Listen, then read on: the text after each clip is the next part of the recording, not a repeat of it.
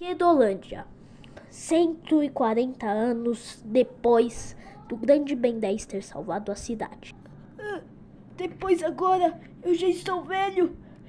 Eu já estou. Eu já. Daqui a pouco não irei sobreviver. Porém, preciso que saiba, filho. Uma nova ameaça está vindo. Vá até o Museu da Pites. Disseram que se a Pites descongelasse, uma grande ameaça estaria vindo para a Brinquedolândia. Porém, estavam certos. Filho, eu estou indo. Ah, ah, ah. Não, papai! Oh, não. As profecias estavam certas. Agora, a história não se passará na Brinquedolândia. Apenas nós só temos duas pessoas que poderá salvar o mundo: Calça Quadrada e a última patrulha sobrevivente. Vai ser fácil vencer esses perdedores. Será que esse é o último capítulo?